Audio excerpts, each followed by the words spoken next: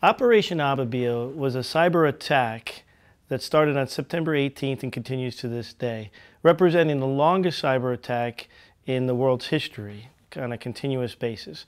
The cyber attack included a bunch of waves and phases. These really are warfare terms, which, which mean that there were different perpetrated attacks that happened at different periods of time.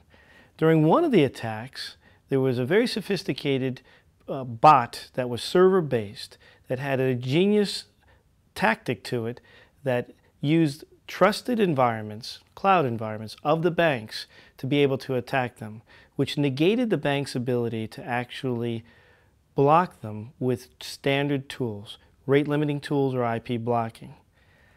In those attacks, they actually used six vectors Two of those vectors were volume-based attacks, UDP and TCP floods.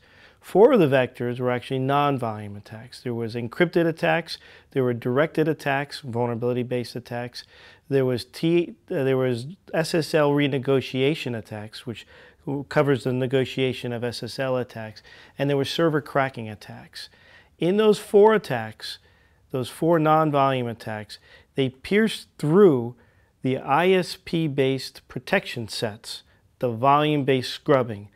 So those volume-based scrubbers were not able to handle these four additional non-volume attacks.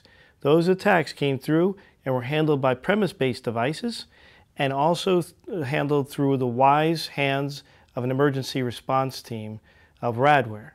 So the combination of these six attacks and a brand new attack technique was, was demonstrated how sophisticated the attacks can be, how you need a combination of both cloud scrubbing and premise-based scrubbing, along with knowledgeable, wise hands over, over the attack sequence to be able to handle the defense.